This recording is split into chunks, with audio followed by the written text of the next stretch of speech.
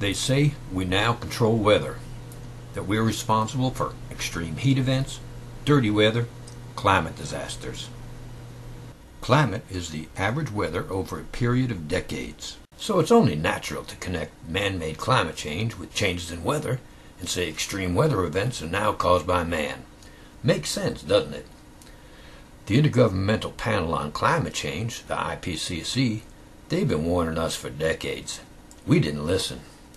Now James Hansen of the Goddard Institute of Space Studies, GISS, is on the news talking about those extreme heat events. So explain the, how we know that these events are happening and that they're not part of any sort of natural cycle. They are, uh, in fact, a product of global warming, and we can see that very easily. Al Gore has given it a new name, dirty weather. This year we're creating something we call the Dirty Weather Report because the weather we're experiencing now is just that, dirty. It's fueled by dirty fossil fuel energy and misinformation. Kevin Trenberth from the National Center for Atmospheric Research explains all about climate disasters on the news too. And so these areas where the really hot and dry conditions leading to wildfires has, has moving around. It, we certainly don't expect them to occur every year, but we do expect more of them. The odds are changing uh, for these to occur with uh, climate change, with the global warming from the human influences on climate. Trenberth and associate Dr. John Fasullo has recently published a meticulous paper in a scientific peer-reviewed journal about the extreme weather events of 2010. The title of the paper, Climate Extremes and Climate Change, the Russian Heat Wave and Other Climate Extremes of 2010.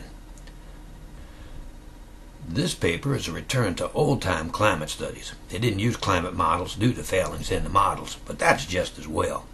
There are brilliant diagnostic efforts within the paper to explain the cause of the Russian heat wave and other weather events that year and they were all caused by sea surface temperatures. Trenberth and Fasullo looked at the sea surface temperatures of four regions and explained the flooding, the monsoons, the Russian heat wave from those high sea surface temperatures. To sum up the paper in one sentence, the 2009-2010 El Nino and the beginning of the 2010-2011 La Nina were ultimately responsible for the record rainfalls, the Russian heat wave, and the other meteorological weather extremes of 2010. Don't get concerned now. They refer to man-made global warming. It's noted a couple times in the paper. In the discussion at the end, Trenberth and Fasullo write, However, there is a, also a significant global warming component, and they refer to Gillett et al. 2008. That's climate model study. The human influence is systematic and persistent, and can be thought of as an underlying warming of about six tenths of a degree Celsius since the 1950s. For those not familiar with Celsius, that's more than one degree Fahrenheit. As opposed to looking at those four little regions individually, let's look at the big picture. The Indian and Pacific Oceans, with Arctic and Southern Oceans thrown in for good measure. With these longitudes, this area captures those four little regions climate models used by the IPCC for their fourth assessment report are stored in an archive called the Coupled Model Intercomparison Project Phase 3, or CMIP3. There are dozens of models, and many of the modeling groups ran multiple simulations. What's presented in the graph is the average of all of the model simulations of sea surface temperatures for this region that are contained in the CMIP3 archive. The time period is the last 20 years. The multi-model mean is basically the best guess estimate from the IPCC's climate models of how sea surface temperatures warmed in response to man-made greenhouse gases. As you can see, I've also added a linear trend line. Spreadsheet software like Excel can determine that for you. They even throw in a line on the graph.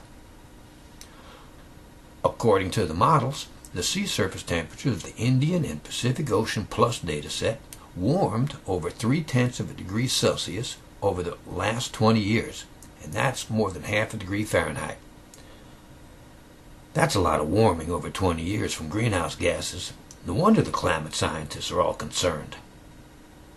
But there's a problem. reality is different than the models. The sea surface temperatures for that Indian and Pacific Ocean Plus data set haven't warmed in 20 years.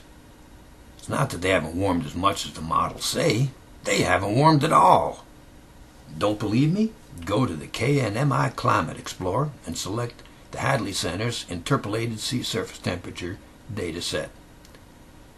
Use the same coordinates I used and start in 1993. By the way, that Center's interpolated or sea surface temperature data set is the same one used by Trenberth and Fasullo. Kind of odd that Trenberth and Fasullo overlooked something like that. The Pacific and Indian Oceans, along with the corresponding portions of the Arctic and Southern Oceans, cover about 75% of the surface area of the global oceans. It's not a small region. No wonder they had to refer to climate models for proof of global warming. They couldn't use data. Oh, by the way, you can download the multi-model mean output at the KNMI Climate Explorer 2. Let's look at the Atlantic Ocean data. We know globally sea surface temperatures have warmed over the past 20 years. Since the Indian and Pacific data haven't warmed in that time, it has to have warmed someplace. Sea surface temperatures for the Atlantic plus portion have warmed. But the North Atlantic has another mode of natural variability called the Atlantic multidecadal oscillation. And that's the reason it continues to warm while the Indian and Pacific data have not. Of course, the models still simulate too much warming from greenhouse gases by about 48%. Keep in mind the North Atlantic will eventually stop warming at that rate. It's nearly the time when the warming will, there will slow down and stop and eventually cool for a few decades. It's been cycling like that for thousands of years. Let's look at maps of the warming patterns of the modeled and observed sea surface temperatures for the past 20 years. The scale to the right is not temperature, it's correlation coefficient. A region that warmed linearly for the past 20 years would have a correlation coefficient of 1. The maps show areas that warmed in yellows, oranges, and red, and if there were portions of the oceans that cooled, they would be shown in greens and blues. The following four maps present how the sea surface temperatures correlate with time. Basically, the maps are showing trend patterns. If greenhouse gases warmed the Indian and Pacific Ocean Plus dataset, they should have warmed in a spatial pattern like this, according to the models, and it shows a general warming. As Trenberth and Fasullo wrote, quote, the human influence is systematic and persistent and can be thought of as the underlying warming. End quote. But that's in the models, not the real world. Since greenhouse gases did not warm the Indian and Pacific Ocean Plus dataset, the warming and cooling patterns look like this. Obviously, the cooling in the areas where sea surface temperatures dropped, the green and blues, equaled the warming in the other areas. There are no similarities in the spatial patterns, none. The models incorrectly assume the oceans are warmed by greenhouse gases. They're not. There is nothing in the satellite era sea surface temperature records that indicate a man made influence. The oceans in the real world are warmed and cooled via oceanic processes.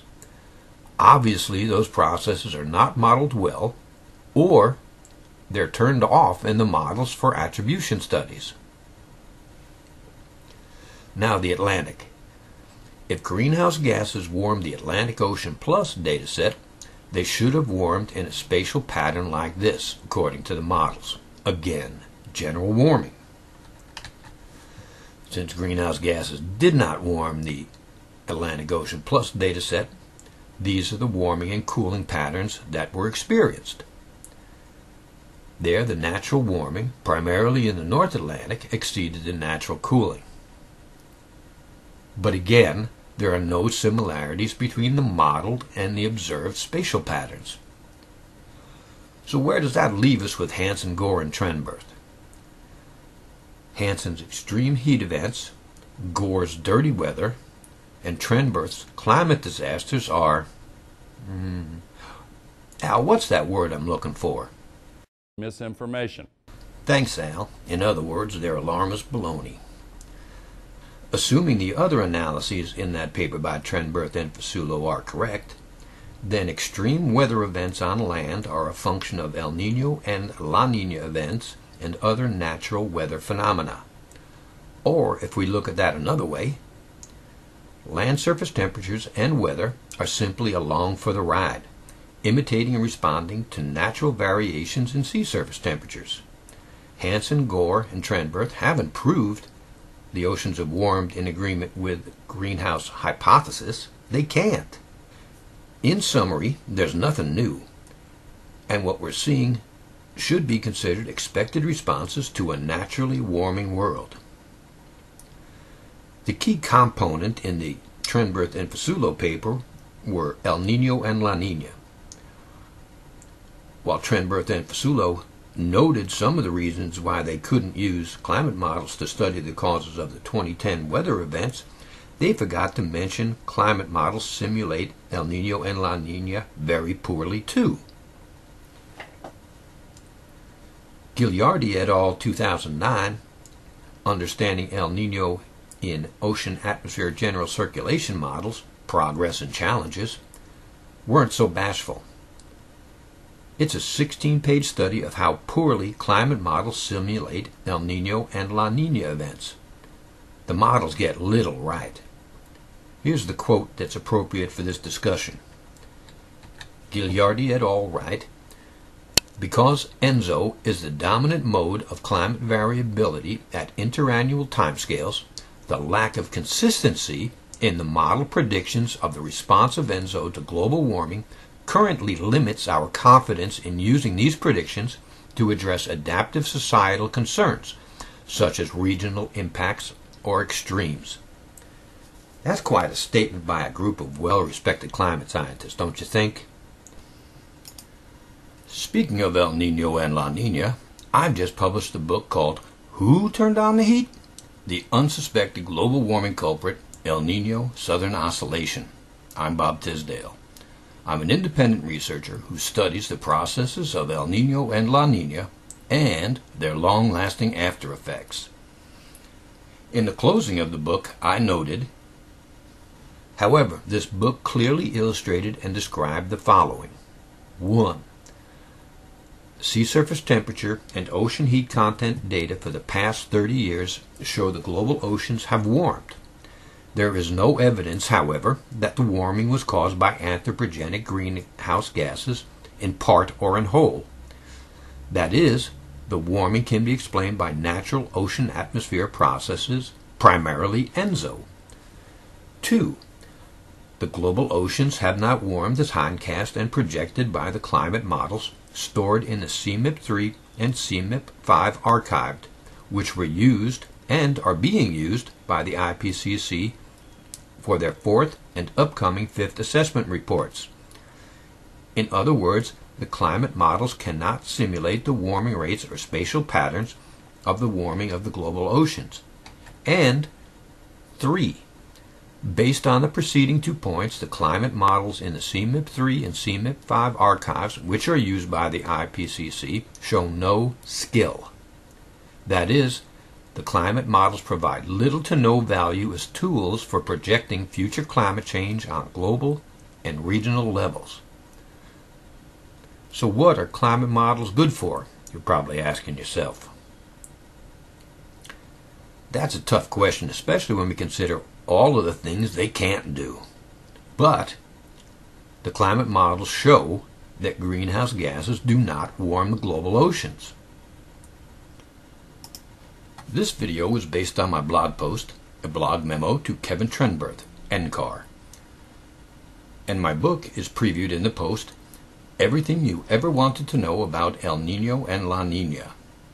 Part 2 of this video will be based on that book and will explain the natural warming of global sea surface temperatures over the past 30 years. Have a good day.